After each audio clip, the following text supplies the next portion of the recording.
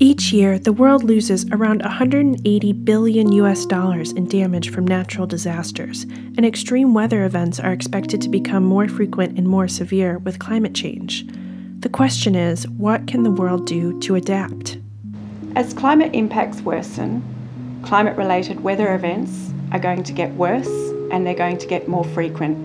Bigger storms, bigger costs. It's that simple. So if you look at what happens when a disaster occurs, there's usually a, a, a, pattern. And the pattern is, first of all, could we have predicted an event of this size, of this, in this location? And the second thing usually is, how much of that disaster is not insured but could have been, if there'd been a better understanding of that risk? There's lots of talk about adaptation planning throughout the world in different cities.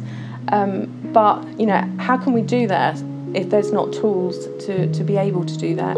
And we, you know, we feel we provide those tools and working with these partners, uh, you know, could really scale this up very quickly, which is exactly what, you know, the world needs. OASIS LMF have been developing the OASIS platform for catastrophe and climate change risk assessment and adaptation since 2012.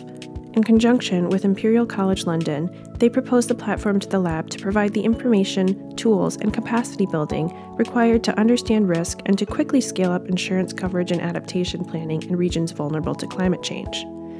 The foundation of the platform is clear standards, enabling better data and risk models that are provided through an open marketplace and that are sustainable through local development. So, in essence, there are three main components to this platform. The first one is the software itself, and that is already being used by the insurance industry, is already a proven technology that just needs to be moved into the developing world and used there. Secondly is the e-commerce platform. Now this is a, an environment where data is placed, you can understand its resolution and its utility, and if necessarily you can buy or license that information and that's a really important component because scientists and institutes all around the world have data for developing countries. Our knowledge of its availability is extremely poor. This environment and this e-commerce platform will make that evident and available to all. Thirdly is the knowledge transfer of the tools and techniques that need to be understood to make this all work and use together. So we need to make sure that academics and institutes in developing countries understand and know how to use these tools, build these tools, and deploy these tools. While the platform could be used globally, proponents, as well as the lab secretariat, propose a pilot in one or more low and middle income countries in Asia. The countries on which this model focuses lie in Asia, which is one of the regions of the world most affected by climate disasters.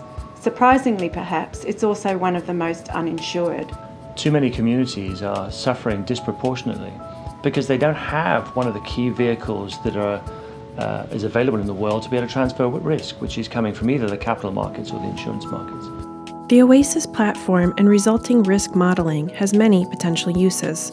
It can be used to scale up insurance markets and for adaptation planning, helping communities both build climate resilience and recover more quickly from disasters. It's this ability to be able to plan where not to build new housing, where not to build new roads, how to, you know, lift roads so that they they're sort of protected from flood risk.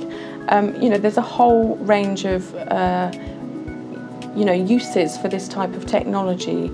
Um, you know, both in the insurance sector and in in, in, in sort of civil civil society. So this is really about changing the understanding of risk using standards to ensure its simplicity with training to make sure everybody can do this.